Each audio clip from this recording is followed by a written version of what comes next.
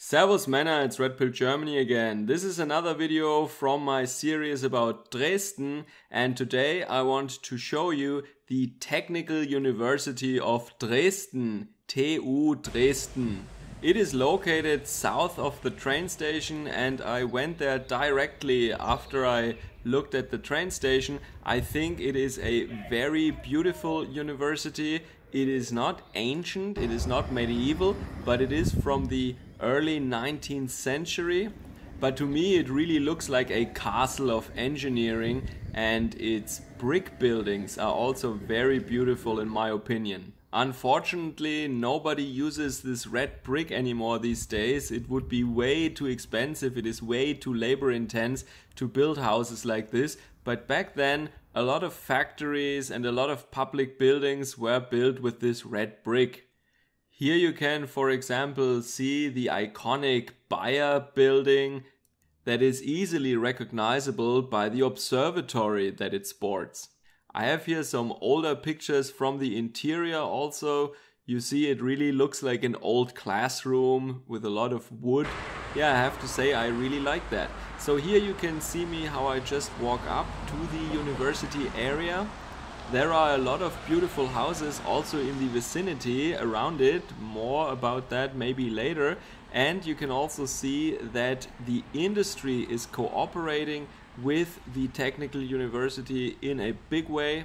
Their budget in 2018 was over half a billion euros, and about half of that came from the industry, came from outside sources, not government funding.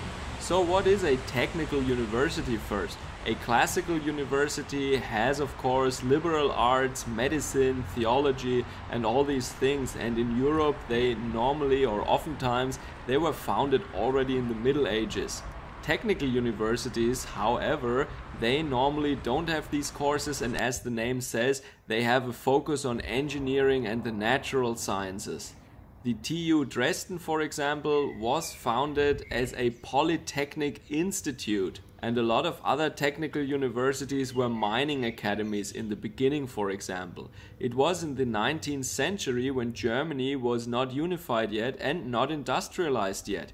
And the German states, they wanted to close that gap that Germany had with respect to England, for example, to the British Empire.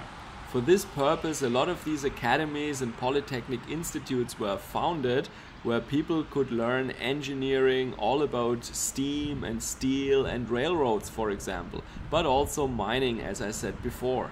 In retrospect, we can say that this strategy worked pretty well. So as Germany was unified in 1871, the Polytechnic Institute was then renamed and reformed into the Technical University of Dresden, the Technische Hochschule, as it was called. Hochschule, yeah, you might think it means high school, but in German Hochschule means university.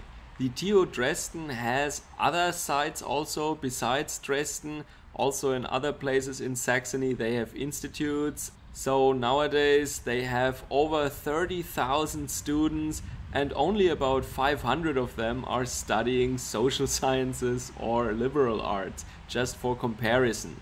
So the focus of the research is really semiconductors, material science, mechanical engineering. Saxony is somewhat of the Silicon Valley of Germany. Well, at least it is strong in the semiconductor industry, I should say.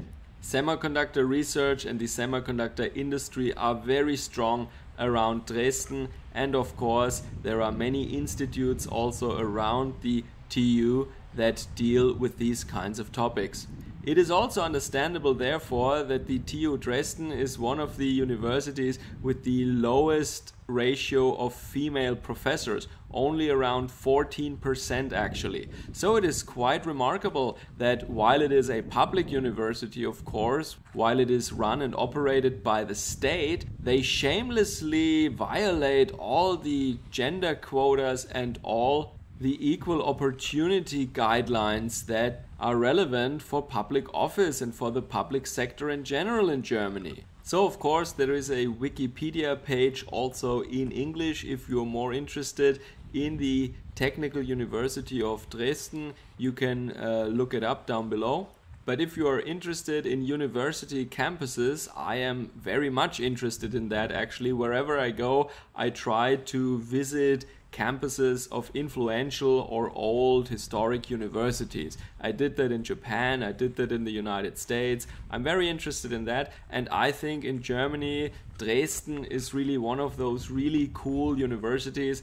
We have a lot of medieval ones, as I said, that have much older buildings, but this is really from the time of industrialization and it really shows. I like that style personally very much. I cannot get enough of these brick buildings so if you enjoy that too, uh, yeah, enjoy the walk with me, and um, I will shut up from now on.